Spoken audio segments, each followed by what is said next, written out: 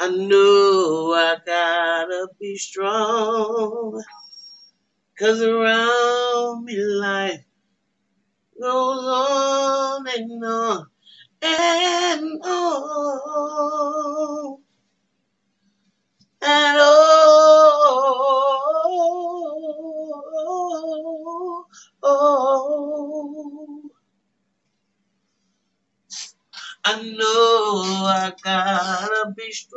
Strong, yes I do. Because around me life goes on and on and on and on. Oh, oh. Ooh, hey, good morning, good afternoon, good evening, family. Welcome, welcome, welcome to the mental house. Another product of this environment that we live in. You know, I just want to talk about pettiness for a minute. And I'm very, very disappointed in this young man. Well, he ain't even young, man. He's he's old dude. Oh, old enough to know better. When you get old and you're still doing foolish stuff, then you become an old fool. In my humble opinion. And Brian McKnight has really shown me that he is one of the worst fathers and pretty much now a worst human being that I've ever seen because anybody that would treat their offspring the way he's doing and the pettiness that he would treat I don't care what his sons did he had to pay rent look that's the let me tell you something my uncle used to tell me mm. I love you Uncle Jamie he used to say that's the effing you get for the effing you got. So whenever my kids get on my nerves, or whenever I start thinking, you know, y'all can just go jump in the lake somewhere, I have to remember that's the effing I get for the effing I got. Okay? And that job never stops. Never stops. Just like your mama's job never stopped for you when things get too heavy for you, you want to go sit and talk with mom for a minute. I don't care how old you are, if your mom is still on the planet. If she still can comprehend. That's one of the beauties of life. You you always somebody's kid. And that secure, safe space of feeling love from a parent is nothing like it. Because that's who made you. You know what I'm saying?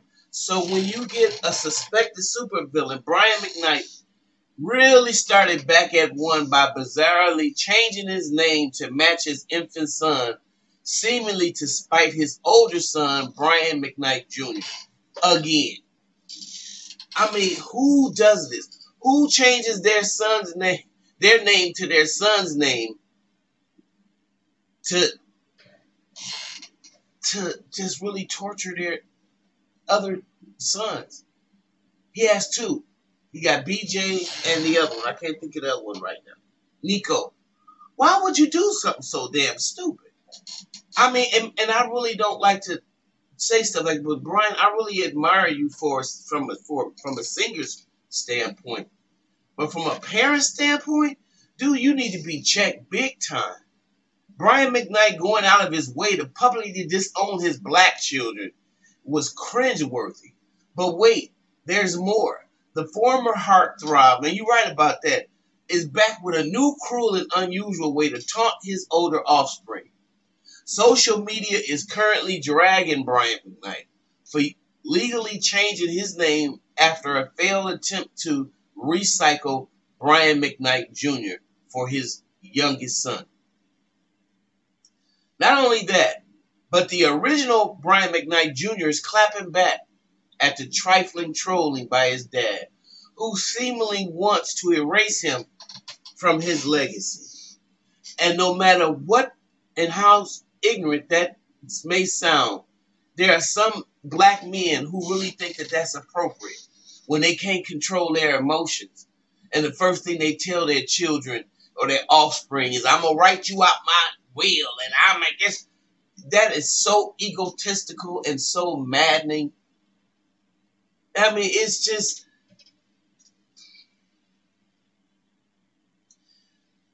Brian McKnight changed his name so that his baby boy could be the, a real junior. That's not sitting well with me, seeing as his oldest son is a junior. I mean, and I get it. I get it. Brian McKnight has lost his black mind and he's picked up another mind and it's in it's embarrassing. It's embarrassing. And whenever you find men that take on other cultures um, because they're ashamed, either ashamed of where they come from, ashamed of their parents, ashamed of their um, life, pretty much. Whenever you find a man like that, he that's an epitome of self hatred, and I would say that's what Nico and Brian Jr. is experiencing right now. I would never buy any song ever again by you, Brian. McKnight Lullabies, the song of a father to his namesake. Wow, you're so crazy, man. I didn't think you would even do something so stupid. And and excuse my French, but I have to say this because how dare you treat your son like that? How dare you? And the older you get, the worse you get. Mac McKnight time lullabies. And his my his my legal name is Brian Keona McCoa McKnight Sr. Dude, have several seats. Have several seats.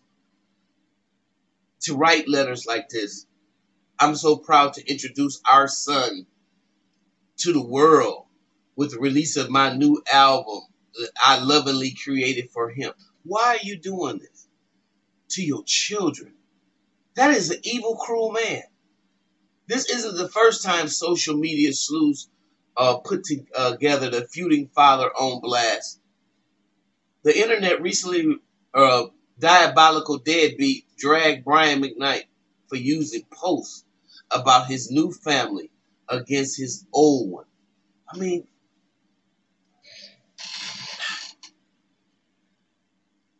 the man is a menace. Man was already four kids in and said this. Indeed, for the first time in my life, I got to experience what it's like to want and plan a child made from love. And even though he uh, separated from us too soon, I wouldn't trade uh, something you gave me for anything in the whole world. Our son will always be a part of us and live. Look, look, this, look, look, look, look, look, look. Brian. Brian. Brian's Brian's done. He cuts off his own children and he picks up another woman's child and then has a kid with her and think he it's just that easy to forget about his other life. It's really sad. And it's really sad that a man would do something like that. I mean, really with that being said, I want to know what y'all think because I, I, you know, maybe it's me. I'm very sensitive about fathers doing things like this to their children, their offspring. Very, very, because of my history. Um, and so maybe I'm I'm reaching. What y'all think? Y'all think I'm reaching? Let me know. Please leave your comment below. If you like what you hear, subscribe and share my channel. And I'm gonna get back with you. I sure am on the next video. Merrily, beautiful.